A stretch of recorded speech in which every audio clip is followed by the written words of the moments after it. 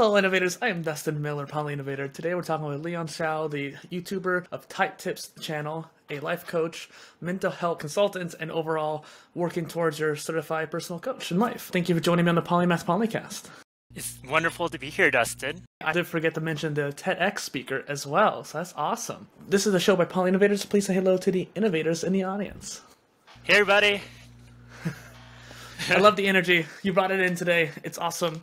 And so we met on the 52 Living Ideas meetup a during a comprehensivist Wednesday. How has your uh, experience been on that? It's it's been incredible. I've been I really love that group. So 52 Living Ideas is a really incredible meetup, and that's where I got to meet Dustin and hear about his incredible ideas on polymathy and how you could get those polymath juices going. Yeah. Well, and I thought too we were talking about this different types of brains and how people think differently, and I think it's going to be a great topic for us today. Right. Right. Hello and welcome to the Polymath Polycast.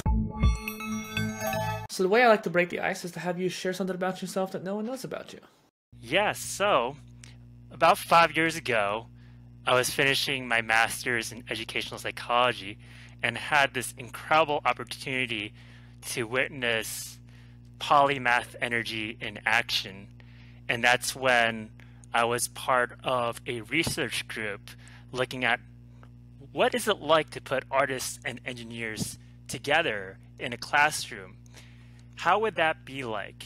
And as a researcher, what I saw was a lot of conflict that was going on between people of different disciplines.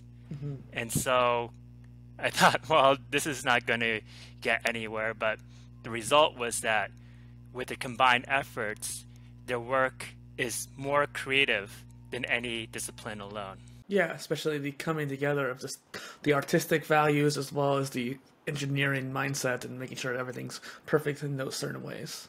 Right. Being there, I think that has really inspired me because that was a very unique opportunity in a way. First off, I learned that conflict is a precursor to depth mm-hmm. when I was when I was there.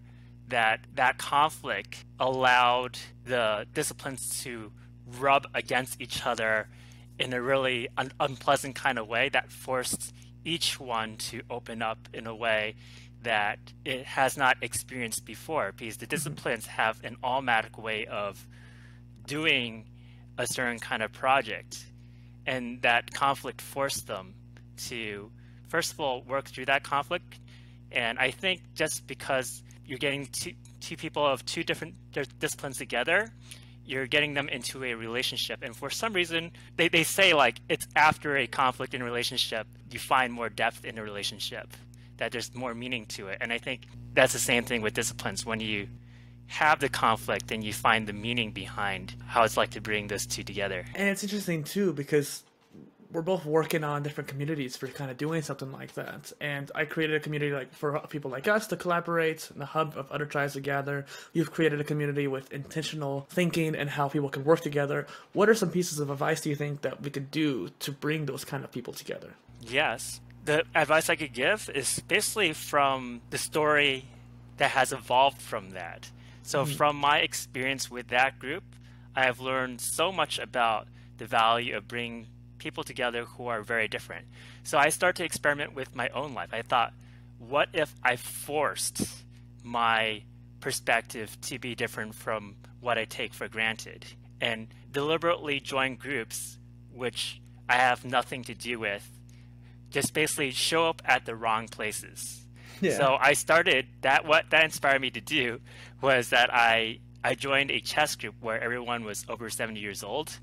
Hmm. And then I and then I joined a craft baking group which everyone was a 40 to like 80 year old female.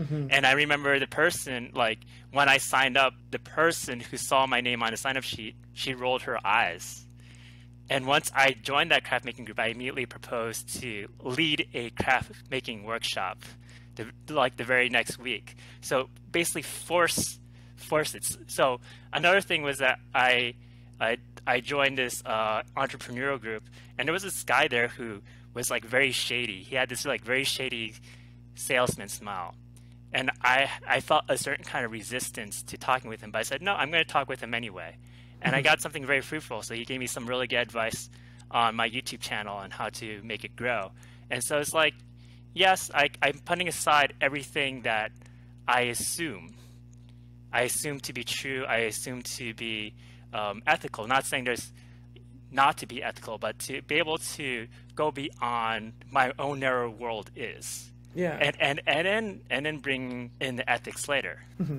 Well, and it's interesting too because it's just about getting yourself out of the comfort zone as well. Like not not just comfort zone as in just hey I don't feel comfortable to do this, but also comfort zone as in is this within my morals and virtues? Can I go beyond that and experiment? Exactly.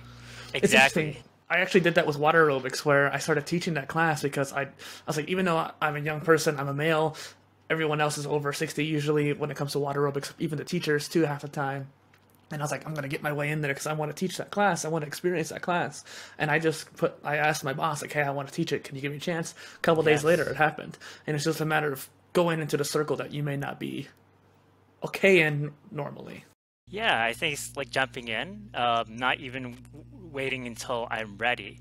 I just find that when I decide to do something, even when I'm not ready for it, it takes me to a whole nother level that I'm mm-hmm. able to accomplish something that I have not accomplished before or have realized something I have not realized before. So I decide from there, I'm going to get people together in any way, shape, or form, people from different walks of life, from very different experiences, and fortunate to be living in as a diverse an area as New York City. And I started to organize meetup groups. One's about the, the Myers Briggs, getting together people who are of different very personalities and understanding what makes them successful in their own way. And I learned that everyone takes their own way of thinking very um, for granted, and people assume the way they think is the way everyone else thinks. And actually, people who join that uh, MBTI meetup have told me they kind of assume that people are thinking the way they're thinking, and it's so surprising to see people think in fundamentally different ways. And there's a lot of neuro research to back that up. That there's fundamental different neural patterns in which the brain fires. So there's certain brains mm-hmm. that fire like a Christmas tree, and that's that's basically your t- your type, say ENFP, fire, fires like a Chris like like a Christmas tree, and other brains are more like they're they're extremely efficient, so they use very little energy mm. in, in the brain. So I thought like instead of bring in your assumptions instead of saying, okay, well, I don't like people who do X or Y. Kind of, kind of like with what you have with the pillars. You have the mind, body, heart, and, and spirit. There's mind, body, people, spirit, and emotions. Mind, body, spirit, and emotions. And you can kind of relate this with those personality types that they favor one area or over the other. And often yeah. the ones that favor the body in the in that group are not favored because they're not viewed as um, intellectual, but they're actually you have to ask, but why are they able to achieve in ways that you aren't? And that's the question that I always ask myself. Well, it's interesting that like, a lot of times you think like the meathead bodybuilder who is not very smart, but think about how that guy got to that point, or girl, like anybody can get to a bodybuilder state. And right. it's interesting how you have to count your macros, count your calories, make sure you're getting a certain amount at a certain time of day. It's when you eat more often than what you're eating or how much. And making sure that all the different details are accounted for. How much weight are you doing? How much are you progressing? And you, it gets down to a very scientific, intellectual level in order to get a bigger body that that that that is really interesting. I never thought about like when. Mm-hmm. yeah. eating. Yeah, it's just good to approach everything with certain kind of curiosity. Assume that we we are biased. So kind of like assuming that I'm I'm wrong all the time. And um, so I started to I organized another meetup group called Creative Instigators in the past. And the idea is to bring together people of very different disciplines and mm-hmm. have a really fun community and a precursor to that was there, there's a group I joined called the Creative Research Group, and there I organized a group of people to make artwork out of nature. So we just got, so we just went out in, in, in nature and we got some twigs, we got some rocks, flowers, and we just put them together. And another one was um, there's somebody else leading that that group in which he decided to do like this really big surprise, and he's not going to let us know what we're gonna he's going to get us into.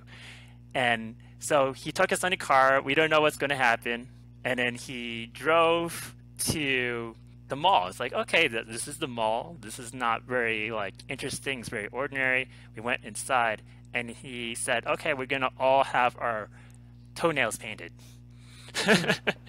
so he got everyone's toenails painted, and then everyone was like really hesitant, but we decided to get that done. And after afterwards, he took us to a gun shooting range. Hmm and he says, okay, now like what what is that experience like putting those two together? So this is not something you would typically do in a in a day. Well, maybe some people do, but like I, I, I don't. Especially both in the same day, and it's interesting too. You could almost think of the masculine and feminine kind of energies as well from that. And right. something that came to my attention is that you're an INFP and I'm an ENFP. How do you think that would impact our interactions then? Well, um, whenever I communicate with people, I do like I do think about their type, but I keep it in the back of my mind in a way. I always like to try to find a way to relate, and I know that like for both types, how they relate is the the potential for um, seeing a lot of possibilities and being able to pursue those different kind of possibilities and be able to pursue a lot of alternative ideas. So that that mm-hmm. that's a way, and I always see what I could learn. So I I try to take my um, biases away. So for me, I'm gonna prioritize certain things as um, as an introvert, and then you're gonna prioritize different kind of things.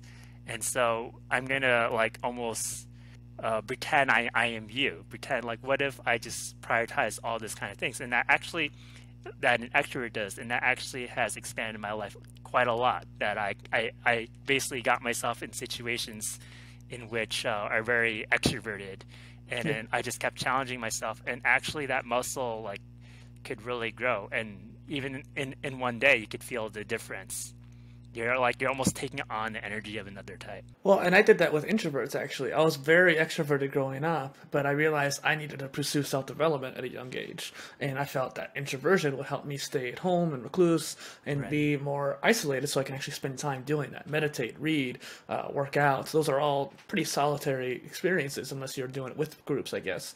But it's one of those things where I had to train that, and now I've become more of an ambivert. And something you mentioned there too is like taking up on the energies of that the first thing you did when you came on is get all expressive with your hands and all smiling. That, that was a very extroverted gesture in a way. Yes, and you're that, trying to. Yes. Yeah. And that that is very much learned. I actually grew up with very severe social anxiety. And if you looked at my high school picture, I wasn't even smiling. well, I will say half the freaking photographers always tell you not to smile, so that's on them too. I feel like they always put yes, a lot of pressure on you. But I, I was definitely uh, very quiet and not very eloquent, so I really worked on my speech. Um, I used to mumble a lot when I speak, or I didn't share a lot. But I think with a lot of practice over time, especially since I have the YouTube channel, I practiced in front of a video, then mm-hmm. that really has got me to speak. And what I learned is that I, I spoke with a neuroscientist and he said, Dr. Dario Nardi, he has this great work on the MBTI. And what he said was that, yes, there's type typical brains, but when they start to get certain kind of education that activates different areas, certain areas of the brain that they're not used to activating, or they take up a sport when it's not an athletic type, those areas start to light up, and over time, the types become type atypical. It's interesting too because one of those things that you're doing is trying to push yourself out of your comfort zone, and I think with videos, it doesn't matter if you're extrovert or introvert. It is kind of a scary experience. Uh, even just hearing our own voice, there's a bone conduction when we speak, and so we hear our voices as deeper because of the vibrations in the bone. And so when you hear recording, you don't hear those vibrations anymore. Yeah, you so listen to yourself and you're like, "Who the hell is that?" Yeah. Exactly. I still cringe sometimes when I hear the recordings. I, I hate it, and I, I've gotten used to it, but I don't like it too much just yet. But I like seeing the conversations that we have, and so I can like, okay, I can get over my like little issues with that. Absolutely, yeah, yeah. I, I, I agree with you. I, I used to really not like my voice when I first heard it. Well, and it's interesting too because even even now, even after doing over 130 audio casts and I don't even know how many videos, 80 videos at this point. I've done a lot online. but I don't do live very much. And so when we actually met, one of the times we'd seen each other at the 52 Living Ideas meetup, it was live. And I felt nervous for the first time in ages because I was like, okay, this is live. I can mess up and people can be like judging me for that. And so I remember being a little bit nervous, but just taking a deep breath and relaxing and going that, past that, it. That's true. Like even like really famous people are who've, for instance, they're a musician and they played thousands of times. They're still nervous getting up on stage. Mm-hmm. It's interesting, and I feel like that has to do sometimes with our personalities as well. But one thing uh, you were talking about your YouTube channel, and I was watching on there this idea of balance and having this rest and being able to not overwork yourself, avoid burnout. And so, how can one find balance between discipline and rest? Yeah, I think it's a paradigm shift. So I think there's like this um, binary in people's mind. Things are you're either like working hard or you're being lazy but I think there could be a synthesis of the two. It's not simply about balance in the sense of compromising your, your hard work, but actually further enhancing your hard work through very smart practice. And so I think, especially since I work as a psychotherapist, what I find a problem a lot of people have is that they get stuck in their head. So mm-hmm. they're always, they're actually working very hard, but they are stuck in their head and they're trying to figure things out. They're trying to make things work, and they're trying to solve the problem. And when people are in that mindset, uh, nothing gets solved and nothing gets fixed. It's almost as if you're always returning back. you're pointing at yourself. Yeah. there, there, there's a lot of times I experience that too. So when people get into that state, what what's happening is that their forebrain is taking over, and it, so it could feel like, well, you know, I worked so hard but not I'm just going around in circles and I'm going back to square one.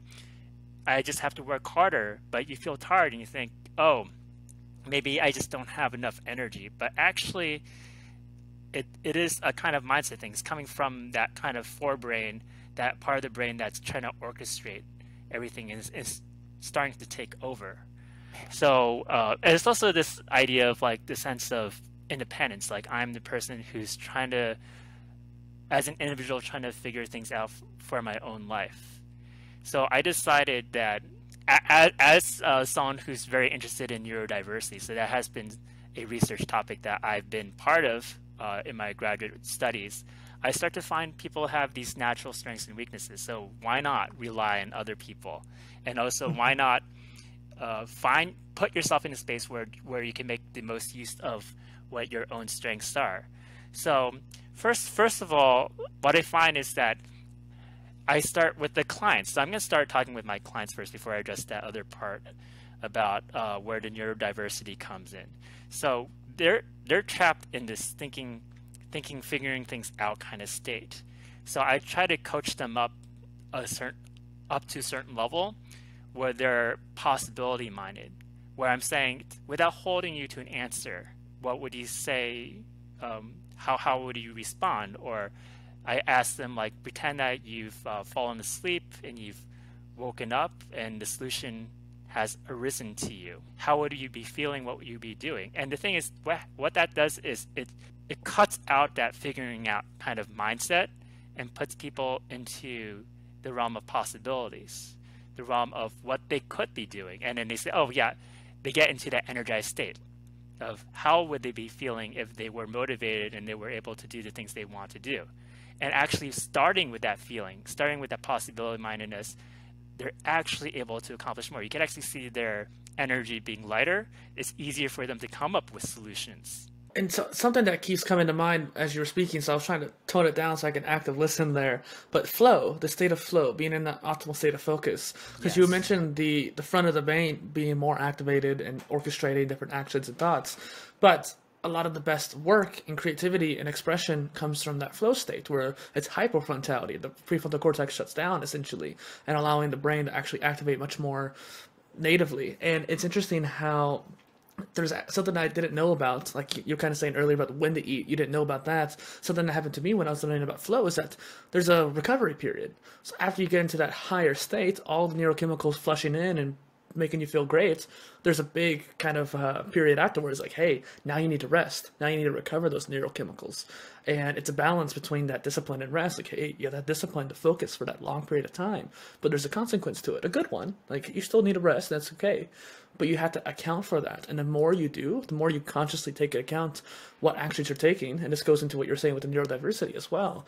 You can prepare for it more and then be able to do better in the long run afterwards. Yes, yes, I think it is like um, being able to switch between the conscious and the unconscious, mm. and being able to tune into when, and that's actually tapping into an intuitive part of ourselves, almost like a, a light focus. And I find, um, like, for instance, when I am playing guitar or doing artwork, when I am trying to force things and I feel like I'm working really hard. I feel like I'm putting in the the hours. That's when I actually the acceleration rate is the slowest. But when I when I, when I put it away and I allow the accident to happen. So I'll, I'll give you another example of work and rest. So like uh, I played a really difficult uh, jazz piece, and people, it, it's about seven minutes long, and people are like, "How do you learn this piece? This is like really difficult." And I and they think about like, oh, I must be putting all this like hard work into it. And yes, it took many hours and, and weeks, mm-hmm. But actually I was able to do it because I changed the way I did it. The way I was doing is I was trying to learn it each note at a time, and, and when I make a mistake, I won't progress unless I get that note correct. And I, but that was very demotivating and got nowhere. So I decided there's certain parts of the piece which I find easier to play, and I, when there's harder parts which I didn't get right, I just allowed myself to be sloppy on those parts and just do it wrong. But mm-hmm. because mm-hmm. it allowed me to play, play, through that whole entire piece many times, and because I really enjoyed uh, playing the easier parts of the piece, it got me into a motivated state, and the practice effects got me to get the easy parts done much faster than if I would just yeah. do the piece from the very beginning to end. And when I got that down, then I was motivated to get this little bits of the hard parts down. So it's like really listening to my lazy side. Yeah, well, and it also makes me think of video games actually, because something I've done is to try to go against my personality, for example. And so, do, have you ever played many video games in your life? Uh, I'm not much of a video game player, but I have played. Okay. Well, there's a game that's a good example, Fallout, Fallout 3, where there's a karma system in the game where you have lawful good, it's originated in D&D and whatnot, where you have lawful good and chaotic good, neutral good, and then you have the neutral level and then the evil level, so chaotic evil and lawful evil. And it's a nine, uh, nine piece chart, and the, depending on the actions you take in the game, you'll fall somewhere on that chart. And I, I, think a lot of people, including myself, always fall into that good, if at least the chaotic good, but that top layer, because the choices you make are often going to be good ones. But I often try to find myself challenging myself to do the opposite. So like, hey, if I'm going to do this action, let's try this way. And it was almost like training that muscle to do a different decision to see what the outcome could be like. Because it is a game, it's just like just a digital simulation. But it's interesting how even when I try to do that, I still ended up being like lawful lawful good because just the it's the inherent notions. And so I just thought that was interesting how even deliberately trying to change it, I still couldn't get past that. Yeah, that that is interesting, and I think like changing things is a lot much like much like a a process. So I realize when I'm working with clients, they have so much they could they could feel like changing psychological habits is difficult, but it's actually a lot like changing physical habits. So one time I was inspired in in terms of how I would like to be able to treat my clients who are having difficulties making changes by one time I was taking a walk and I really want to take a new route, but I keep forgetting to take the new route. So, but I only remember when I'm halfway through my old route. I said, well, you know, I'm halfway through my old route. I'm not going to go all the way and try to to another location to do my new route. So I'm going to finish this old route, and the next time I go back to my old route and I have that same habit again. But I decide, you know, maybe it's not really black and white. I don't have to change from my old route to the new route completely right away. What I do is, so I was basically halfway through my old route again. I decide, you know what? I'm going to take a few steps towards my new route. So I took a few steps towards my new route, and that created change so that it reminded me next time to take that new route. The so, mini habit. Yes, exactly. It is the mini habit concept And it's the same thing with uh, psychotherapy. Psychotherapy. People believe that in order to motivate themselves, they need to be very harsh and hard, and basically goes along with this idea of you need to work very hard and be very difficult on yourself. But actually, that's the worst way to motivate yourself because what happens is the brain shuts down. Your functional IQ actually lowers when you are scolding yourself like that because it's basically mm-hmm. putting yourself into fight and flight mode. Like, for instance, when we start to call ourselves a loser uh, for doing something wrong, that's the same thing as like almost like what if you're threatened by not having enough money to to pay your rent?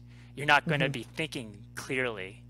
You're not so. So the idea is actually yeah. the kinder you you talk to yourself, you actually not only do better, but it's better for your brain. You actually improve faster.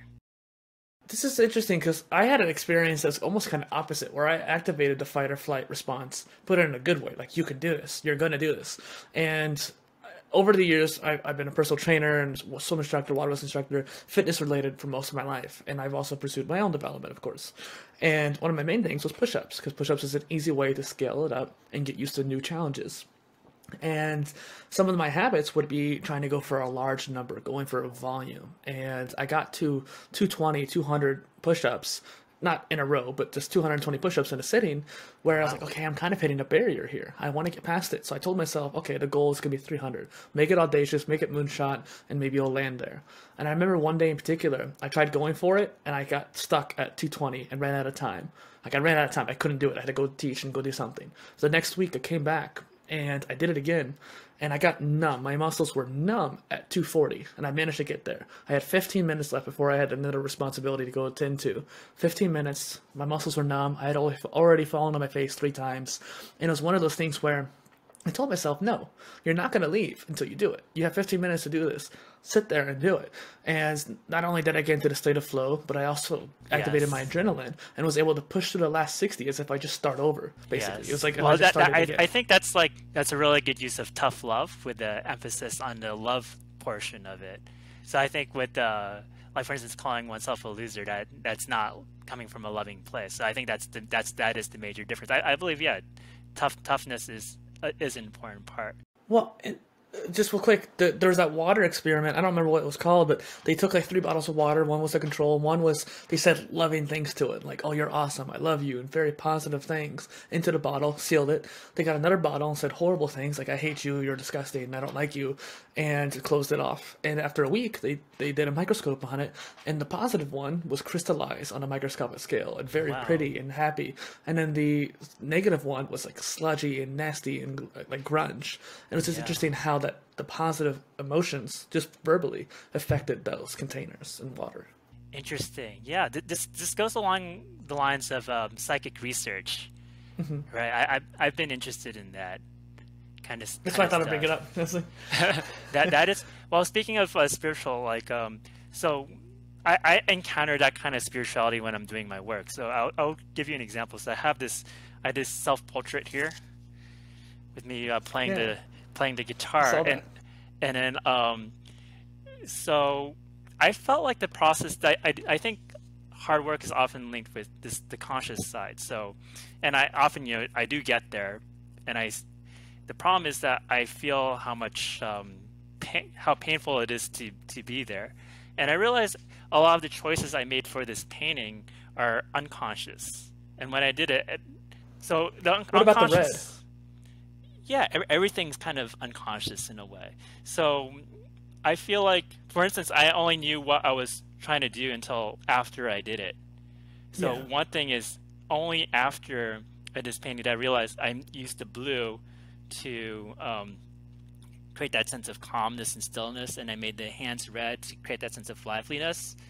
And if I was doing it consciously, I wouldn't have been able to do it. But when I was just following along with that intuition, I I would have. So I think a great lesson I learned is that kind of like what you said about like coming to this podcast, you don't have to prepare everything beforehand. You don't have it's good to go off the cuss is, is, is just the idea of living life is almost like living it's almost like creating an art piece in a way. Mm-hmm. You don't know what's gonna happen at the very end. And actually it's even better than what you expect. So it's better not right. to not to expect. So over here, along the way, you see this purple around here. There, there used to be a lot of purple around my Mhm. arm to the extent it actually looked really ugly.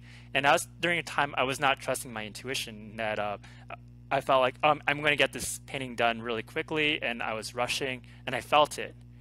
But after I made the mistake, I said, you know, that's okay, Leon. So next time I'm going to get rid of all the purple, and that's okay that I made the mistake. I know it's just you know, next time listen to your intuition. But I decided not to get rid of it. So I decided to integrate the purple into the painting and kind of paint over a bit with the blues. But I thought it actually looked good. So it's actually I'm integrating my mistaken way. Like What's the duality of red and blue the of like the, the- image? You're blue, the background's red, and so it's a Right. duality there too. Yeah, there's a duality, and I think uh, the purple is almost something that's in between the, those two colors. So I've I've allowed myself to integrate the basically integrate the mistake. So I think an issue that people face is that they don't want to like make a mistake, but I feel like everything is an opportunity. So this goes into this opportunity possibility mindedness, going from getting out of the level of thinking and figuring things out and trying to get things right to this idea of like everything has its place and you can make make it so that everything has its place. Well, and you like you said about the polycast too. It's like I want you to feel free form, answer the questions how you feel. If you get too prepared, then you're not gonna have, be a little stagnant. Although some people feel like, especially if they're more introverted, I feel like they'll try to prepare more. Yes, I, I still like I still have that urge. I still have Yeah. I figured you would. And that's the thing. That's why I also take into account what personality types people have. I have a little spot on my on my database of like, hey, are they introverted or extroverted? So that way I can change my actions accordingly and try to make people feel more comfortable. But on top of that too, I'm a very perfectionist person, systematic thinker, and so I have all the questions there. I want to go through basically all the questions, if not more, and some of the best shows I've had have been where we've only done half the questions. Right now, we've only done like three. and so, like, it's one of those things where three and a half, I guess, technically, that like maybe we would have something in the long run, but it's a matter of what, what we're talking about now. We had some great topics already. And so it makes me think too from painting to playing music to creating content, you have this aura of creativity around you in your life, obviously, there. What inspires you? What what inspires me? I think I've been following my muse, and this muse I have is kind of more than something that's concrete. It's more than any specific field that I'm pursuing. I feel like there is this knowledge that's beyond labels, and so it doesn't matter what I'm engaged in, whether I'm expert at it or I'm a novice. I'm increasing my ability to tap into that knowledge. So, for instance, I wouldn't say I'm like a, a great chess player, but what chess has taught me was the power of long-term thinking, which I apply to everything else in my in my life. And one thing I learned about long-term thinking is like in in ch- in chess, it's actually not good to have a a long-term plan. So you can't Because things can change. Exactly. So there, you, that's the same thing with people making five to ten year plans. And I, and I used to do something like that. And what's long term thinking is making the most adaptive moves mm-hmm. in the moment, and that's something that I always carry with me. So, so I feel like I'm never at a loss because I never feel like, well, I mean, I do feel like, but I've changed my mind. The thing is, one I think one thing people struggle with is like, oh, I'm just getting started with this new area. I don't like to feel like I'm a novice in it, but I'm trying to look at knowledge in a grander scheme that I'm pursuing this uh, greater knowledge, and it doesn't matter what field I'm in, I'm tapping into. And actually, the later I tap into something, um, sometimes sometimes the better. So, but it is Yeah. it is important to tap into it. So, for instance, I learned started learning Spanish two years ago, and Que bueno. yes, and the thing is, I felt like I learned a lot of things that I, I wouldn't have learned if I learned it like if I was five. There's there's so much in that process. I felt like I was able to connect up with chess. I was able to connect up with um, um, running meetup groups. There's some there's Yeah. some underlying principle that is principles that are the same. Well, and it's that greater knowledge, that interconnected knowledge that I think is really put in for the show, the polymathy aspect. Right. I think that's why there's a lot of this polymath starting to spout up now the internet's here. It's not that we weren't there, but it's more about we, we just didn't know how to express ourselves in this very narrow-minded specialist society.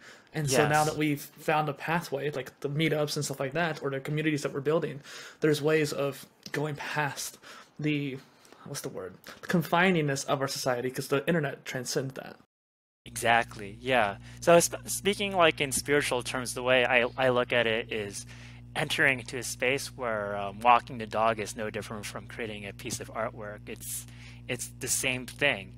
And uh, speaking of which, um, that space overcomes all dualities, and not in a way that's like in the Aristotle way where you're kind of find, finding some sort of happy medium between two poles, but actually in a way that one side actually enhances the other side. And so what I found is, uh, for instance, this whole debate with society versus the individual. The problem is that actually both ends are actually very similar, meaning they're all about the ego in the sense that there's ego of the individual trying to promote itself and self-conscious and it wants to be above society but it's taking in the expectations of society in order to do that. And then there's also society where if you say if someone is trying to blend into society, not in a, a very um, individualistic kind of way, it's the same thing. It's the ego again, because it's being afraid of the judgments of others in some sort of way. So they're actually very similar. And actually, I think both polarities they take people away from their self, who who they truly are. And when people could tap into who they truly are is actually the best way they could serve society. So actually, they're mutually enhancing. Well, and it's interesting you keep bringing up spirituality. Is that a lot of the time when I'm on these shows too, either mine or someone else's, I talk in a more rather scientific or knowledgeable in factual kind of way, but I've always had a pretty strong spiritual side that I don't necessarily tap into when I'm creating content as much. I try to balance it out, but it's one of those things I don't necessarily point at. Even in my, in my head, the spirit pillar of the four pillars, I think of spirituality as like the balance between the conscious mind and subconscious mind. The conscious mind being more ego, the subconscious mind being more of the higher knowledge, higher right. power, so to speak. And regardless of how you approach that, you could take it in a scientific way, you could take it a philosophical way, because if you look at Eastern philosophy, for example, but it's one of those things where me personally, I've evolved more to be in it, taking it in a scientific way, despite the fact I still need to do it the other way as well. Right. I remember your idea, which I really, I really like, which is the idea of spirituality being getting to that point which is between the conscious and the unconscious, and having that interplay happen over time. So that that's something I could really identify with. So well, and it makes me think of like dreams too, or dreams are often ways of trying to figure out what the conscious mind is thinking, but right. in a different way. One thing yes. I thought was really funny, just just randomly, as I mentioned last night for the third time, Samuel L. Jackson came up in my dream vividly, and like I was having dinner with him.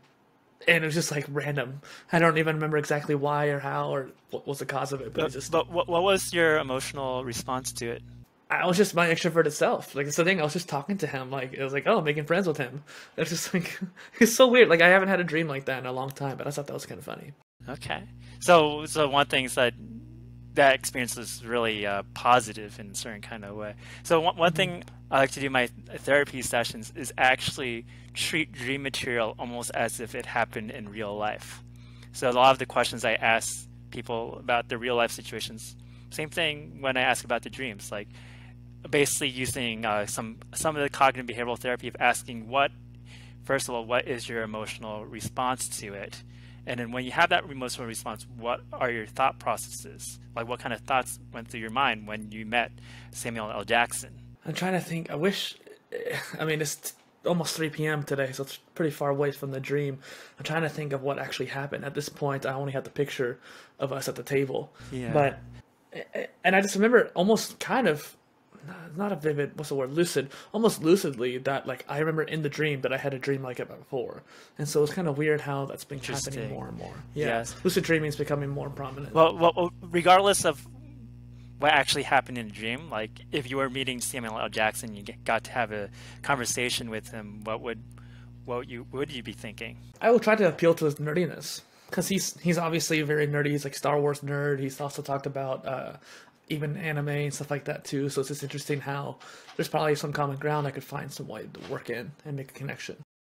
Interesting. So it's like you're approaching it from that standpoint of curiosity. You're bringing your your um, the side of yourself that's very fascinated with people into into this into your conversation with Samuel L. Jackson. So I think like that dreams often tapping into an energy that um, that is very important for us at that time, right? Um, so it sounds like you already have this kind of energy. So often, like the dreams, they kind of present an energy where it's something that we don't, we're not tapping into as much yet. So a lot of my dreams when I was um, throughout my life, because I had really severe social anxiety, was around loosening up. So I had a dream in which I was kind of in my dream I was drunk, and then I got I got this rug and I rolled it up into a cylinder and I started kicking it around and I immediately spontaneously invited the closest people around me to to play and play this game I called rug soccer. I just called on that spot rug soccer. Let's play rug soccer together. So that that's that piece. I was basically when I first took the MBTI, I, I tested 100% introvert. So I would not do anything like that. But that whole idea is like anything that energy was like so extroverted. Like whoever was closest then uh, I, I I could play rug soccer with. I could just like invent that game right on the spot. So that's the thing about like um, I I think people are often concerned about whether they're wasting time, whether they you know where should they devote their energies in their life. But I feel like uh, you could in a way always make use of all time. I, I feel very cautious about using the term making use because that sounds like it's almost too pragmatic in a way. But it's like even when you are sleeping and you're dreaming, your your brain is figuring something out. So right. So it doesn't matter, and I, I always make make use of it. So like when I wake up, then I write down what my dream is, and and I don't have to do anything more. I don't have to like force it into my life. I just know that I'll be bringing more of that energy into my life. Right. It's interesting too because just having that extroverted energy in their dream there. It made me think of like a experience at karaoke, for example, where my first song was by Queen and it was a more obscure song by them, Fat Bottom Girls. Not many people know it too well, but you know, I felt attached to it, and it's one of those things where it was the ego, like, "Hey, this is my song. This is the one I did for my first song. Your first song's always the most important." And there's another guy who was a regular at the karaoke bar, and he did the exact same thing. He had that song as his first song, and for most people, they might get antagonistic or even like egotistical, like, "Hey, this is my song, not yours. What are you talking about?" But I try to flip it around, to flip the script, uh, flip the script, so to speak, where I was like, "Hey, that makes us special. That means we should be friends." And I was able to make a connection out of that and build it up. And I think that's an extroverted pathway, right. so to speak. It's a connection that I made instead of choosing to be antagonistic or being like making an enemy. I made a friend instead. Right. Yeah. That I think I think that is that is great, and I think there's a lot of truth to this idea of both working on your strengths and also working on your weaknesses. Because I think basically when you work on your strengths and not your weaknesses, everyone becomes very type typical. Whether whatever their MBTI type is, they basically become the stereotype of it. And the ones who transcend it are the ones who do something that are different while also working on their strengths too. So I wrote this article a long time ago, but it was about um, certain personality types tend to show up in certain disciplines. And i and i and i realized that it's only when not only but like when someone of a different personality type starts to show up in a discipline that's when major transformations happen. When when there's when there's changes because everyone was basically thinking the same way. So it's unfortunate that MBTI test has been used to basically put people into certain careers because you're just getting you're shuffling the same people in into the same areas. And we need that diversity. Yes. One thing I'll, I want to ask too: How have you balanced your creative with your scientific background in life? Because it's one of those things where we keep referring back to this balance, and I'm curious. Yeah. Well, I like this thing. My my, my favorite psychotherapist of all time is uh, Carl Jung, mm-hmm. and he really believed that he was a scientist. And then but when he was uh, doing this artwork, there's this voice that called to him from the inside his unconscious that said, "What you're doing is art." When he he's basically he really saw himself as a scientist. And so he started to really listen to us like, well, maybe that there's a, there's a truth to that.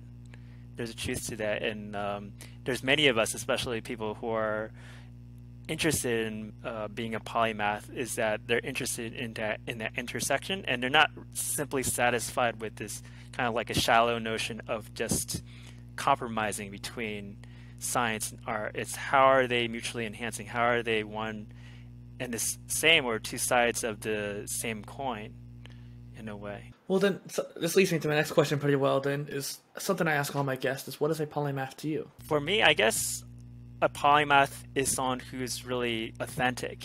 They're not believing in the, the labels that society has placed on the disciplines. And originally, a lot of the disciplines were one thing. So philosophy and, and science used to be one.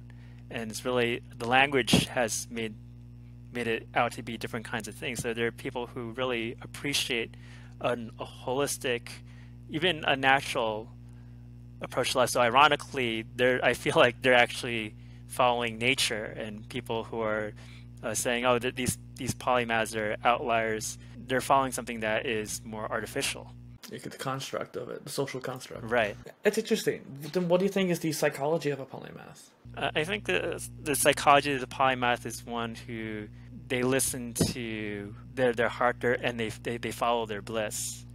And actually, it's kind of as easy and also as hard as that. So what's the hard thing is actually when you follow your bliss, you actually your your psyche is driven to do things that are challenging, that are difficult. And I think uh, society wants life to be harder and easier in the opposite way. So how it wants life to be harder is that it wants to be you to be half of who you are, not fully who you are, not your full potential. Which, uh, but that's also that's easy. That's easy to do to to do that, but it's also very hard on the soul too. When it comes to you say you're you're following your bliss, do you mean something like the ikigai or finding your purpose? Um, I think it's like listening to the where your psyche is taking you. So I think there was this great uh, there was recently on 52 Living Ideas this great great talk about that. And uh, the host of the show he said that he's he switched over from music to be interested in uh, Jungian psychotherapy and you think like, oh, someone who's doing music, they they must already be following their bliss, right? But actually, he found at that time he was, but then when it came to his late twenties, there's something that's very dissatisfactory about it. So I think your body naturally tells you. So you mentioned about the pillars. I think those other aspects of the pillars, they, they really are telling you in different ways that your mind is not telling you. So your body, it starts to kind of shut down more, uh, or or your spirit is not as enthused anymore. And that's because even if you're in this place where you are something that is someone who's seen as not following society's norms, once your body and your spirit are telling you, well, at this time, is I, I don't want you to follow this anymore. It's time to do something else. It's almost like that gut feeling too, which is the body, but then also having that emotional intuition as well as the mental logical calculations and just having those all come together in a way. Right. Yes. Yes. Everything. I think everything comes together. And when I when I'm working with clients, I do keep in mind it's important to look into the body, the spirit, and the, and the mind. There's. I feel like when it comes to the and, and the and the heart, or you, you, you call it emotions. I, ideas. There's these paradigms in in psychotherapy and they're all created. Each paradigm is, I, I, I, swear, is created by a certain kind of personality type, and that's their bias. So some are like CBT is very based on the premise, your thoughts uh, are what lead to what your emotions are and how your behaviors are alike. And that's true, but that's only partially true. And I feel like when people only practice CBT or a pure form of CBT, I find that even those therapists who do that, I can see that they're they're actually very exhausted because they're using their forebrain all the time to try to fix everything, and they're they can't they can't do that. And then and then the other parts of them rebel. The part that's more intuitive or more in line with their body. So there's somatic therapies, and there's also ones that are more even just about emotions. I'm not saying one is better than the other, but I think it's good to have different starting points. So what I mean by that is that CBT thinks it has figured everything out by including emotions, including behavior, but it's always starting from the assumption of thinking. of, of, Yeah, of rationality. And there's also other modalities that start with the assumption of emotion, that uh, all we need to do is process emotion. And I think it's because when when they make a discovery, like they just like the ones who are more about emotion, they discover how much how transformative it is to just process emotion and not have the mind get involved. They say, okay, well, I see the truth because they really saw a significant truth, but they don't realize it's a truth.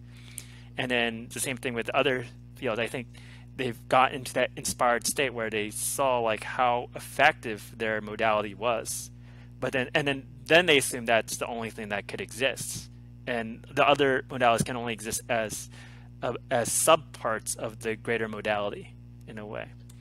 Well, and something you uh, alluded to earlier is that some people are identifying more in one area. They kind of start from their one pillar, for example. Right. And for example, like my background's in body, so I, a lot of my viewpoints on the other three pillars originates from the body. Right. But it, there's a certain amount of growth from that one pillar. Like you're, just because you're focusing on one doesn't mean the other ones aren't going to benefit or not benefit. Like negatively, get impacted too. But for the example of when you've come from that one point of view, it limits you. Sometimes you do have to go outside of that pillar to another one and try to think from that viewpoint, that POV, so to speak, and try to maybe pursue CBD, CBT as that way. Right, right. Yeah, so I, I think it's good to have like yeah, very different starting points to uh it just goes back to the idea like I I'm uh, assuming I'm wrong. So it goes back to this idea with the interdisciplinary des- design work that I was researching back in in graduate school that when people come together and they're of different fields and they have very different starting points of understanding things, it's actually healthier in a way. And Yeah. and one of the things is um, about education is during a time they, they, they really experimented in that, that class that involved the artists and engineers that they actually included visual journals and they allowed students to doodle in class. And usually that's like regarded as a terrible thing to do in class. But what, what I saw was that they're actually accessing pre-verbal forms of, of knowledge when they're doing visual journals. And they actually recall more when they have that combination of the visual and the the linguistic in, in their notes. Especially since there might be more visual thinkers or something like that. Can this Yeah, especially just the visual thinkers, and I think um, the the vis- the visual could capture the character of things in a very different way than than the verbal does. Because I know that when I was in school, I did pretty poorly because I would always be that kind of visual person where I'd start doodling or writing or being creative and not paying attention to the class. And sometimes that might have been laziness or not being hustling hard enough to get to that good grade. But there was also this idea of like, I just didn't think in that rote memory kind of way, rote learning kind of way.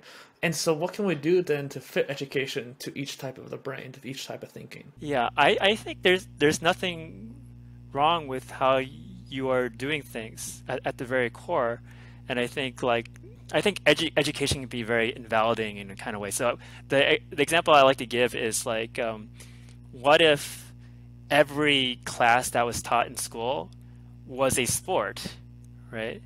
So someone like you would succeed in, in such a thing, right? But other Right. people, like other kids, they're, what are they going to do? They're not good at sports. They're going to be tired every single day. So the same thing with the core curriculum. That that's going to make other students tired. It's a very valid point. I will say that I was terrible at sports growing up. It wasn't until my late teenage years that I was anywhere close to any fitness, like Right. regi- uh, regimen or strength. So you're able to grow a side of yourself that was not present earlier. So, and I, I guess the point I have here is that uh, the problem with the education system is that they're making an assumption that this is the best way. But like with, there's a great educator, uh, uh, philosophy of education guy named uh, Sir Ken Robinson. He says like, if you really uh, look at life with all its artistry and ec- ec- economy and, and business and technology and everything that makes it thrive, not, none of it's like really captured by the academic system. So life is not captured by the academic system at all. It's not. And this is one thing I've been trying to work on myself with Poly Innovator is this idea of modular education, forming around the student, not necessarily making the student form around the education. And it, it is interesting how like I haven't done much with it because I'm still experimenting and exploring the different ways of going about that. How do you make it modular without accidentally defaulting back to the old ways of doing things. Because every time I keep thinking of ways of creating this platform, I think like, okay, well, let's make it to this. Well, that's literally what the Centerplace is doing. How can we expand upon that? So, how do you think that could happen? Like to to be able to make education more individualized.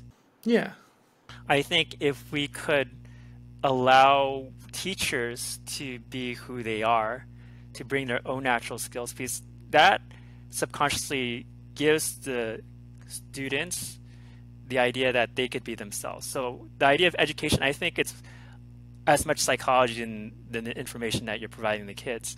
Education is teaching. Uh, I'm not blaming the teachers, by the way. I'm talking about the system as a whole. It's it's teaching students fear, and it's teaching the, the students the idea of there's a hierarchy in which you need to be a certain kind of way to be better. But if we could design the education system so that and even teachers are suffering under this because they're not allowed to be themselves. They, they're forced right. to be a certain kind of way. But if we could allow everyone to be exploring their natural path, it's actually easier. It's actually, you don't need as many controls. You don't need that much. Actually, less is better. The more you allow, I think there's this again this idea of the forebrain again that's trying to take over. It's it's happening at a grander sphere but with education, the, the sphere of letting the the ego mind letting control, and when we could have that balance between structure and chaos, and see actually chaos is as contributory to progress as structure is, then um, actually giving everyone an individualized education and and having more productive or more fruitful society and healthier society is easier. And again, it's it's the same thing as I said before that I think society is making things harder that don't need to be and easier where it does not need to be. Actually, when you put people into natural space, they're going to really challenge themselves really hard. Yeah, especially if they feel stimulated and close to their bliss as well. Right. So, kind of pivoting a little bit, so, something that you considered another concept similar to the polymath is the linky brain, which something that a previous guest, Alex Dunsdon, talked about, and you made a point that it, it is trans-contextual thinking. Can you elaborate more on that?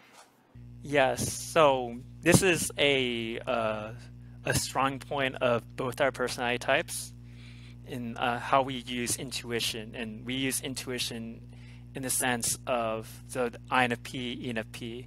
Uh, we use intuition in the sense of seeing as many objective possibilities as there are and being able to draw connections with them. And in Dario Nardi's work, he has called this uh, trans-contextual thinking. So what happens is that actually when the brain is in this phase, it, it lights up like a like a Christmas tree, and every part is asynchronous. And yes, it's a very energy-consuming way, uh, but but it's very effective in its own its own kind of way. Mm-hmm. It's like it's like trying to find the best opportunity by spreading yourself thin, but because you spread yourself thin in that way, you end up finding an even better opportunity than if you were going a more linear path, perhaps. Right. Yes, um, I, I, would. I would agree with that, and I, I would say that this is not valued so much in the education system. That ed- education system covers one part. So I'm not saying everything is wrong, but but if you look at it at an energetic level, it's good to have a balance between things, and that's that's an area where it's it's lacking. It's afraid of this lack of control. So what like uh, the philosopher Nietzsche was he, he he wrote about was this balance of the energy of Dionysus, the god Dionysus, and the god Apollo. And Apollo is very structured and very metho- methodological, but when when Apollo is getting uh, neurotic, then he's trying to control everything.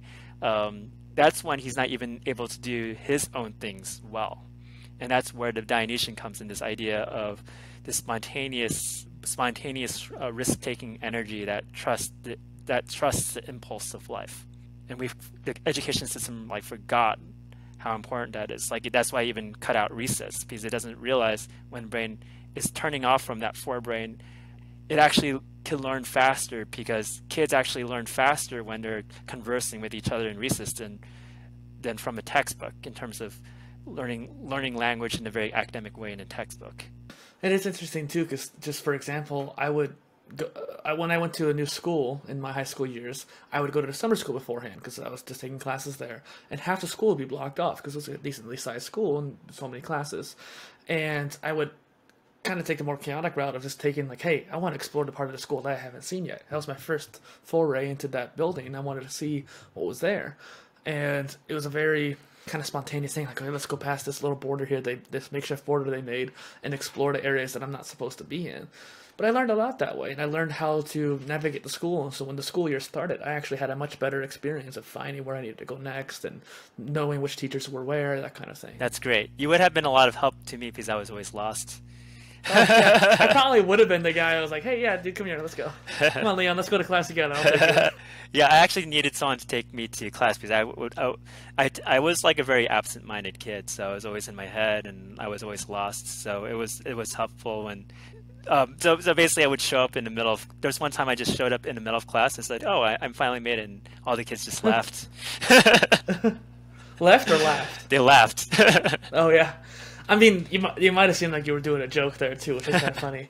But um, it is interesting too because I was always in my head as well. I think that's part of it, just being a teenager too. Like that's something I've grown to accept. Like part of that was just being teenagers. You're constantly egotistical and conscious of yourself. But I think beyond that, maybe it was the intu- intuition. But I had a pretty high EQ growing up, and I think partially genetics too. My family has a pretty strong emotional quotient in their genes and just our habits. And it was interesting how I think I read people more and was able to understand people at a much deeper level for that age than most people around me. And right. so because of that, I thought everyone thought like me.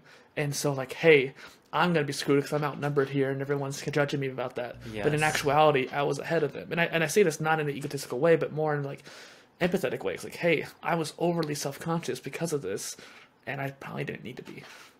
Yeah, that's that's right. Um, that that's a point of self-realization. So I, I always feel like there's this idea of what this reminds me of is that I, I believe there's these intelligences that actually conflict with one another. Mm. So that's why like the idea of IQ, you know, maybe it has a valid point, but it's also kind of uh, simple oversimplifies the idea of what intelligence is, because I believe there there's intelligence that get a, get in the way of each other. So like a very strong uh, EQ in that that form of intelligence actually gets in the way of us being able to engage in other ways because our minds are so hyper aware in that in that kind of emotional state of others. Wasn't it Gardner who came up with those nine different intelligences yes. and whatnot? Yeah, yeah. So it was interesting too because that's part of the reason why I think of the four pillars in that way, almost like intelligences of like building up those pillars, because sometimes the pillars can get in the way of each other. And so by pursuing the body, even though it does have mental benefits, it may take up time or opportunity cost from the mind or from the spirituality and it is interesting too if you go explore the intelligences as well. Supposedly, there's like the courage intelligence and special quotient and the naturalistic, and then IQ is more split into like the spatial, spatial, logical, and then the mathematical kind of being separate.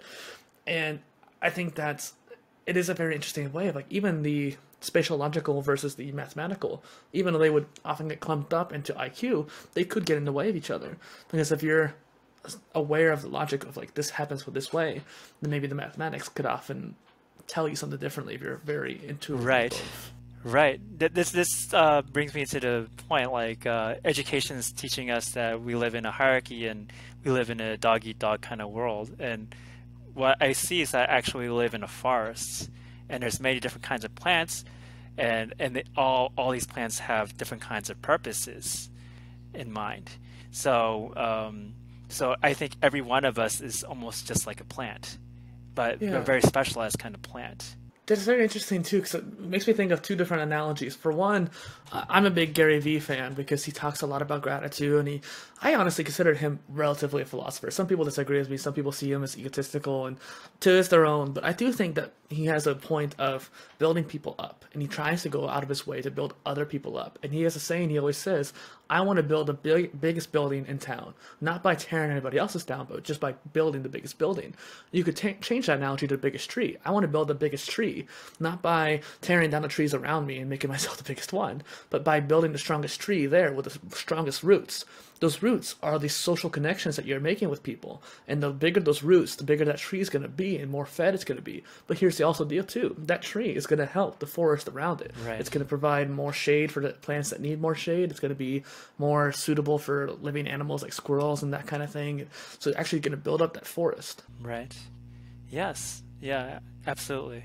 Yeah, I, I would definitely agree with that. It's more like uh, ecology of some sorts, and rather than like one one thing is trying to outcompete with the others. And I believe that's where that's where we've evolved. So maybe like before, um, that's where our consciousness was at in, in the past that you need to be more powerful than others. But even that had that that has changed over time to becoming um, the idea of dominance also include like being more socially aware. Mm-hmm. It's not just being more physically dominant. And then afterwards, just I think the the the concept just has kept evolving since then. Um, being able to see more possibility. So there's not there's not even one way, and even the idea of dominance is uh, not even uh, dominant anymore. That's actually mm-hmm. a, a, form of kind of like almost like a, a weaker psychology, in the sense that it, it's, limited. It's, it's very limiting. Yeah.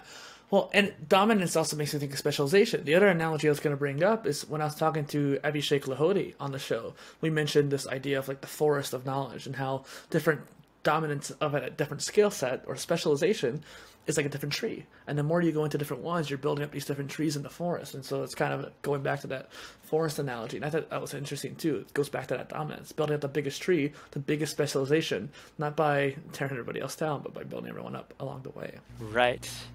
Yes. Be interesting. Speaking of which, actually, an interest of yours, of your master's degree, was how interdisciplinary collaborations foster creativity.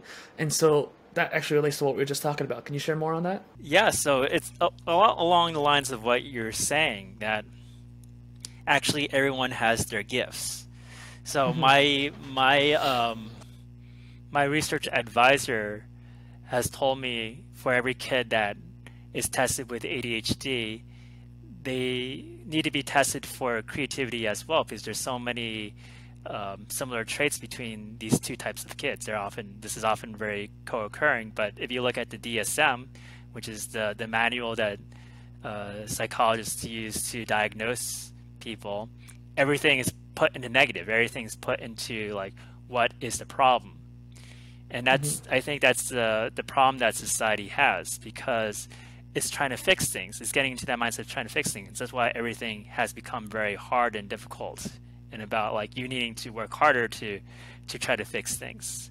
So I think when going back to that the research that I was doing then, I think it's actually fostering this psychology that everyone has their own innate potential to, to bring out. We could trust it. Mm-hmm. We don't have to we don't have to force anything we, we could we could really trust that process. And the idea of interdisciplinary is that it's a lot more organic. So we don't need to have make we don't need to make everyone be like um, become a scientist. Like they that's I guess because there was the space race uh, that they try to force everyone to be like a scientist or be in STEM.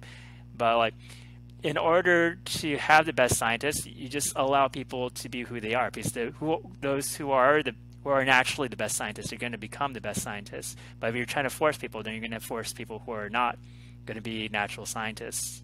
So I think the idea is actually this is more than just like a fun research into interdisciplinary design. It, it sounds like a very fluff field, but actually I think it's actually really essential.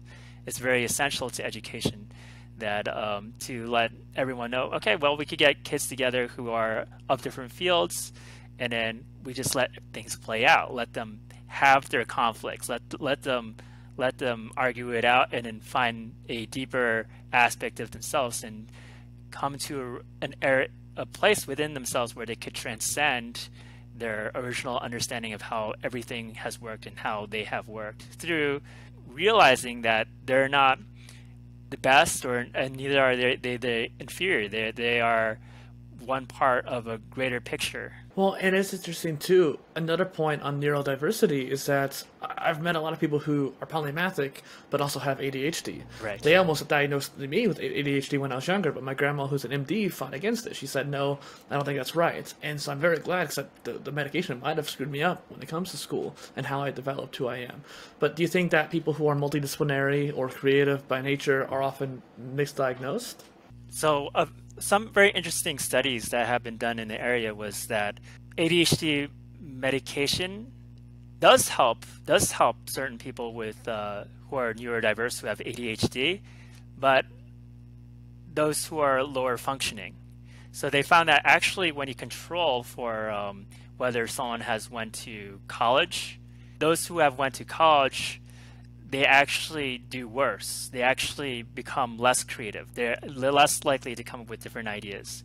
And that's because in order to get to college, uh, they had to be able to organize themselves in a certain way. They're able to tap into their weaknesses and help themselves. So I'm saying, you know, I, I still believe that people who are low functioning, um, they benefit from just being themselves, but finding a way for them to be themselves. Yeah, That's interesting. Yeah, another another study that that helps with that is that they actually did a very complete.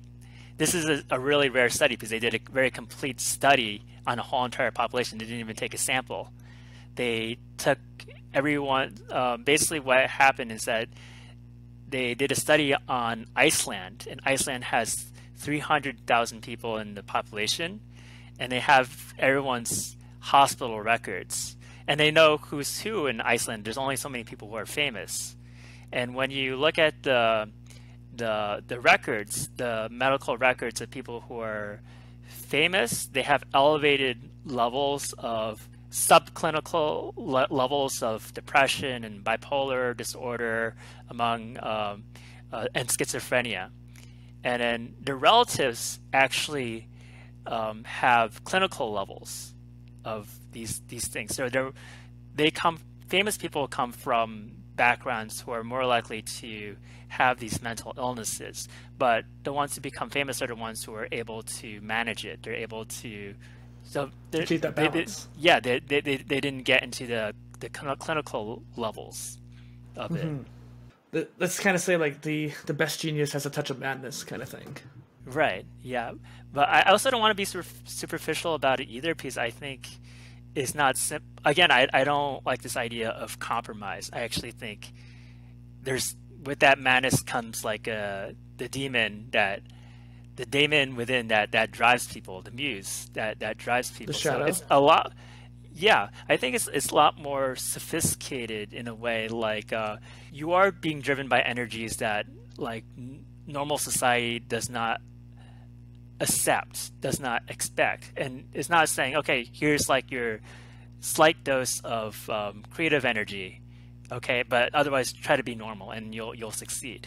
I think it's actually um, they're able to people who are creative they're able to tap into that fully, and but there's there's some who are able to manage it well, and there's others who still made a lot of creative contributions who did not manage it well. What do you think our environment has to do with polymathy? Do you think is there like a feng shui of polymathy in a way? If, if there's a feng shui, so uh, basically my research five years ago, where it has taken me, is to actually recreate my environment so that it is different and that it's supportive of my creative endeavors and I realized. I didn't have to create it. I what I did decide to do is I decided to join an intentional community. The intentional community is people who decide to uh, live together to share resources with one another. And what I found was that it's it's pretty healthy. So like for me, like right now, at least I'm not like economically for communism. I, I, I do believe in uh, communal living, like being living together as groups, because the nuclear family is actually an aberration of how people have been living for thousands and thousands of years. And uh, the ways the suburbs are created fosters this illusion of just just when you're talking about the feng shui, like the you're talking about how uh, society how society's built reflects the psychology. So this idea of all these separate houses far away from one another fosters this idea of we're, we're separate, we're individual units, we're competing for um, survival, and we're we have to completely depend on ourselves. So what, what I found with um, living in an intentional community is that people of different personality types, they take on their natural strong roles. So people who are uh, good at cooking, they lead in cooking. People who are good at uh, taking care of the cleaning, they lead in that. People who are good at maintenance, they, they lead in that area. And so you don't have to like uh, force yourself to do things that you're weak at, but at the same time, you can learn from people who are um, doing things that you're weak at. So if there's someone who's in charge of maintaining, then you could uh, basically shadow them and you, you, you treat them as a leader. But when it comes to your field, you treat yourself you, you they treat you as a leader. And so it's a lot more it's a lot more natural. So meaning that um, i could find my space. I have a lot more time to be able to pursue my creative endeavors because i actually believe that um, pe- people used to live as a group and that's why people now um, they don't have time. Yeah exactly. Right. so before people used to work like um, right. 20 hours a week in, in travel groups and I think it's because everyone's trying to just take on everything to themselves. And even as technology has improved, they just use that as a means to just take on more things to themselves and do this artificial idea of what, what work is. I, I think that what you're doing there is actually really interesting. I really like that. So I, I like this whole idea of an intentional community, and it reminds me of Something Rabbit Eco Village. Uh, it's in a state near me where they literally try to foster that kind of community and make it more natural. And Dan- dancing Rabbit, more like self-sustaining. Is this Dancing Dancing Rabbit? Rabbit that's yes. what it is. Yeah. Yeah, I heard. And it's just it. interesting too because I think that the key to smart cities. So, for example, my obsession for technology and focusing on the future, it relies. I think that success relies on having communities like what you're saying there. Right. You have to have the philosophical aspect behind that technology, or else it won't work. It doesn't matter if you have a smart city or smart technology building up the city structure and making the community stronger if the communities don't build it up with it too. Right. Yeah. I, that, there's a lot with there's a lot of similarity. Meaning, I think people feel like there's a lack of resources because they just they don't know Hmm. how to divvy it up properly. Meaning, like if you design cities where there's a lot of public area instead of privately owned, like if it's it's public, it's for it's for people, and they could do something creative with it in some sort of way. I think um, then you get more bang for your buck, right? So the same thing, like I, Yeah. I experienced it at the level with the intentional community, is that just through the interactions with people, um, I'm getting more ideas because people are they live right next to me, and they're we talk about ideas as a group, and and also it's the idea of shared space, so we don't have to like we could get all this food in uh, bulk and we could uh, we could share it. And I'll give you another example, like the idea of the suitcase. Like, how many times do you use a suitcase in a year? So that's Yeah. something that Or like a drill. that's something that's worth that's something that's worth um, sharing. That's just being more resourceful, or like just anything. Like I think the kids that grow up in the community, they have more adult role models. Like everyone's role models basically consist of two people, and then they can't take a break at all. But whereas like in a community, Yeah. they could take like a sabbatical from from their kid. Yeah. so so I Right. and it- and it's better for the kid because they're learning from different people. So th- when they say it takes a village to raise a child, it actually is true. Yeah, and something that keeps coming up, it's like it's bugging me. I I just want to say it so it's recorded too. It's just like this idea of the polymathic approach to cities. So, a lot of engineers are looking at smart cities from the Internet of Things and cloud and big data and how these technologies are going to benefit it. But like I said just a moment ago, and like you're referring to too, is these communities. You need those public spaces that are good for people to work together, come together. Barcelona's doing that with their little squares that they're doing over there to make it more public. People come together for stands and markets and stuff like that and what they can do as a city. But then there's also the idea of the circular economy and making sure things are being cycled around or reused, and the idea of resource sharing as well. Like, I don't need a drill all my life. I need a drill to fix this one thing, and then I can just put it back in the system. And so, a lot of smart cities that are talked about talk about like um, Right. having kind of like a store where you just borrow stuff. You're not paying for anything. You just borrow the drill or shovel that you need for that day or week, and then put it back. That's that's a and it's going to help. It's to help with polymaths a lot. It's going to help with this idea of uh, creativity and interdisciplinary thinking and society in general. Everything I think is it's just a lot more efficient. It's actually more practical to to design a city that way. For sure. I, lo- I love that question too because it's just a matter of like the environment really does make a difference in your life. And that kind of makes me think too. What do you see nature versus nurture? Not just in polymathy context, but in general. Just what are your thoughts? My, my thoughts on uh, nature versus nurture. So, I mean, it, it seems to me like, for instance, I know this is kind of controversial, but it seems to me that people are born certain types. So it's almost as if the personality type is almost like the hardware of the person. And you could see, like, uh, I think there's emerging evidence, it's not like solid evidence right now, that there's basic uh, fundamental different ways that the brain is wired almost like a hardware, but you could change the software mm-hmm. in it and you could also change it greatly. So I, I think it's almost as if like we like almost like a video game. Uh, everyone has their avatar and it moves certain ways, but then there's things you do in a game that could really enhance the avatar in a multitude of different ways, so that it, it could be very different from how it started out from the very beginning.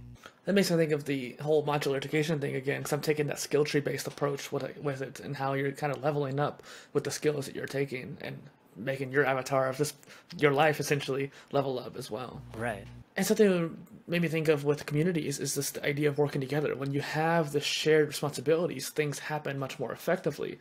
And uh, a game I've been playing lately is this Apex Legends, where you're a small team of two or three, mainly th- usually three, and you're going around and just fighting other teams of the same size. And the real kicker is, most of the time when you lose, it's because someone went out on their own and tried to be a lone wolf. And like literally I, I was playing it earlier today and someone ran off far ahead of me the other guy. And we are trying to catch up. We're both very speedy people. We were catching up. He got killed and so we were not able to help them. And then the game lost. But then there's yeah, other cases where when you can combine your fire into one person and work as a team and if you're getting damaged you can cycle out let another person rotate in take over for a little bit and then that person gets damaged and they cycle out. And you start doing that circular motion or like working together to target somebody. It is that communal thing that really makes the teams work and actually be successful. Yes yeah i, would definitely agree with that and that, that's the idea of um, when everyone could tap into their their true self that's actually mm-hmm. the best way they, they serve others so they actually you see everyone naturally operate together and you see how fruitful and, and effective that is and how enriching that is in the long run versus this whole idea of like i'm just um, i'm competing with everyone and i'm just to myself i'm trying to um, i'm trying to make things work i'm trying to figure everything else out in my in my life. I think it's very different from that. Mm-hmm. Well, and this is kind of the idea behind the polyinnovative construct of just bringing people together who are so philosophical and scientific, and such as the engineering and artistic people you mentioned earlier. How do you think we can do that more? And then, either as a society or as you and I as individuals, how can we bridge people like that together? From from different fields. I think mm-hmm. it's to aside from getting them together to help them get past their their bias because I think people have an assumption there's a there's a hierarchy of the disciplines, and then uh, how do we get them together in the first place though? Yeah, I, I think it is to get them together. It's first a kind of it's a psychological thing that people see these biases. I think when people can get past these biases, they naturally want to get together because they think that's actually a really ex- exciting and very fruitful for them. Actually, something that's very beneficial for them. I think it's the the bias of that there's this this idea that one discipline is better than better than another. Often, like the idea that hard scientists hard sciences are better than the soft sciences, even implied in how they're called in stuff like hard and soft sciences that there's certain disciplines that are better than the others. And and I think that leads us to want to kind of de- defend our turf and say okay well my discipline is the best and that's what's creating the barriers. But when people could conceptually see past barriers and they they feel that they don't exist and they they want to come together because mm-hmm. then they'll see what you see that that when you start to get together and work as a group then it's a lot it's a lot more enriching and also in in end you know you don't end up losing. So you're working on your license in psychotherapy. How is that progressing? It's it's going well. So i think along this process um, i got to speak to people who are from very different fields in, in psychotherapy and it, it taught me a lot about how the mind works so i feel like even when we're very different there's a lot of this makeup that is inner makeup of all the clients that are the same and also the same as, as yours. And then what I find is actually part of the solution to the human condition and its difficulties is actually this lack of creativity, lack of polymath kind of thinking. That everyone's stuck within a certain kind of energy in their in their life and how life is supposed to be. And that when we could introduce these concepts which are regarded as fluff concepts of well actually this is not what life has to be. It doesn't it doesn't need to be as it's expected to be either. And if you could trust that, like creating an art piece and finding it's very different from how you expect, and following following your bliss, following your intuition, and allowing for possibility thinking rather than figuring things out. Actually, uh, people end up not only in a better place, but also with a lot less hard work in the superficial sense. Right, and there's a lot more motions uh, the thoughts are more emotion, that kind of thing. And I, I love that. Well, and so where can people find more about you online and like contact you and stuff like that? Yeah, so um, I have a YouTube channel on uh, psychotherapy. It has my name on it, Leon Tsao, and and also uh, I have a channel on personality typology, which is called Type Tips, and I, I also like to run uh, meetup groups too. Well, I got links in the description for you as well. Anyways, what do you think could be a call to action for the audience? I think a call to action is I know people could find themselves in a really hard place that they really want to have this sense of personal growth and they're realizing their potential, but they're they're trapped. And I want to let them know it's okay and that's actually it, this is a natural part of the process. That part of the process is to to encounter states of mind that are that are like this. But there's all these tools available, and I, I, I think the tools, even though I'm working within the idea of psychotherapy, there it's it's more than psychotherapy. It's actually the the tools of life in a way that yeah.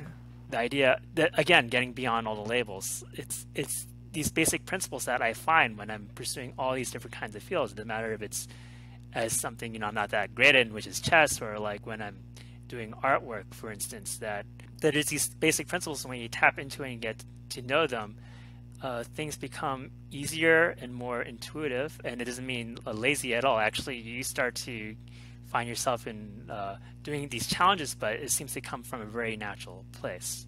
Right. I love that, and I do resonate with some of the things you're talking about too, with the whole idea like there is a lot of challenges, and just this past month or so, I've been dealing with that kind of seasonal affective disorder too, where the, just the winter is bringing me down. Just being able to get things done has been hard. Me too. But um, well, yeah, I'm glad I'm not in it alone. Then we're we're we're in it together, Leon. so once again, this is Dustin Miller, Poly Innovator, and Leon Tsao on the Polymath Polycast. Thank you for joining. It's, it's great to be here. This is this has been a pleasure to be on the show.